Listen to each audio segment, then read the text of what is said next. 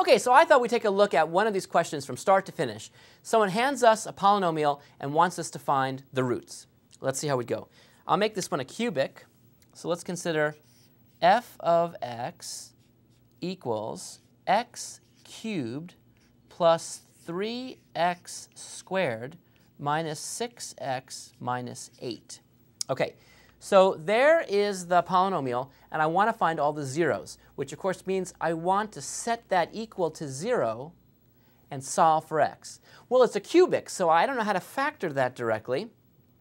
So one technique to try, after thinking about factoring techniques that would all basically fail as far as I could tell, is to see if I can find a rational root. So let's look for candidates of rational roots. Now where do you, where do you look? Well, I use the rational zero theorem. And the rational zero theorem says that if you're going to have rational zeros, their numerators will be factors of minus 8, and the denominators, in this case, will be factors of plus or minus 1. So the candidates would be what? Well, you factor, look at all the factors at the bottom of, of, the, of the minus 8, which would be plus or minus 1, plus or minus 2, plus or minus 4, and plus or minus 8. And now look at all the factors of 1. That's pretty easy, actually, plus or minus 1.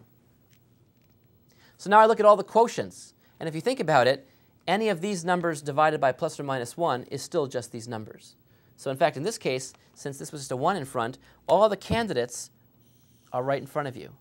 So in fact, there are only eight candidates if this is going to have a rational root. And it may not have one, by the way. It may not have one. But if it does, it's going to be one of these eight numbers. So let's just try and error and see what happens.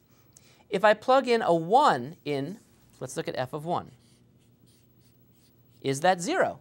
If I put in a 1, I see uh, 1 plus 3 is 4. And then 4, and then here I'm going to have a minus 6 minus 8. And minus 6 minus 8 plus 4 is certainly not 0. It's negative. So in fact, this is not 0. What about the next one? How about f of minus 1? If I put a minus 1 in here, that's a minus 1 here. This becomes a plus 3. So minus 1 plus 3 is plus 2. Plus 2, and I put a minus sign here, becomes a plus 6. So plus 2 plus 6 is actually uh, 8.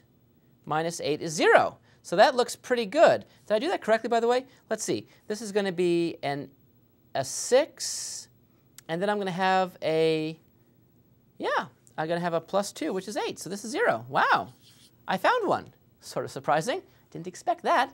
Okay, so there's a root right there. Boom, I've got one. So what could I do now? Well, I could keep going on my list and see if there's others. Or I could just now say if minus 1 is actually a 0, that means that x plus 1 is a factor. And then I can actually use the division algorithm, or I could use the uh, synthetic division method to actually see what's left over. So either one's fine. Let's keep going on our list, though, and see if we can maybe detect some other ones. So let's look at 2.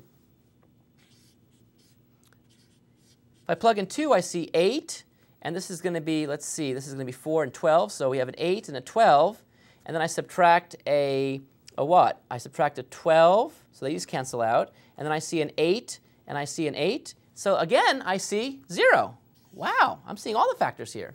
And what about, and what about a negative 2?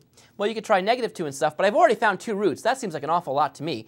So let's see what happens when we actually start to get these roots out and see what's left over. So I'll use this one right here. I see that 2 is a 0. If 2 is a 0, what that means is that x minus 2 must be a factor. So if that's a factor, what that means is I should be able to synthetic divide this into that and see what's left. So I switch the sign, so I get now a 2. I make a little house, put down the coefficients, 1, 3, minus 6, minus 8.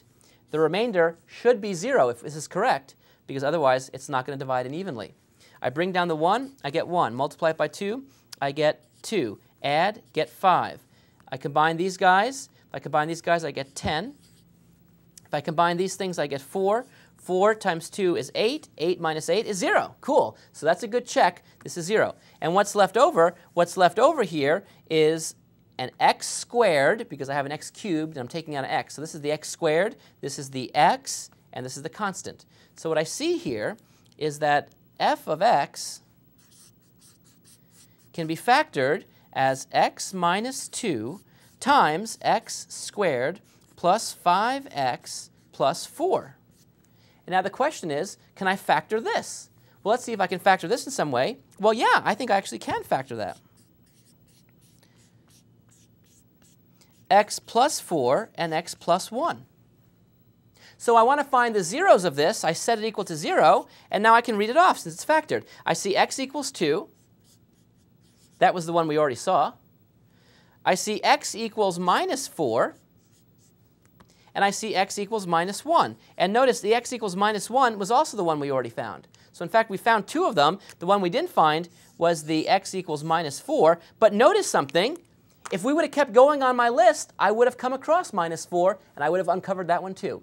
So there's a lot of different ways of finding the roots, especially if a root is rational. You can really uncover it in this finite list. Check, use synthetic division, see what's left over, factor, and find the zeros. Try these on your own now.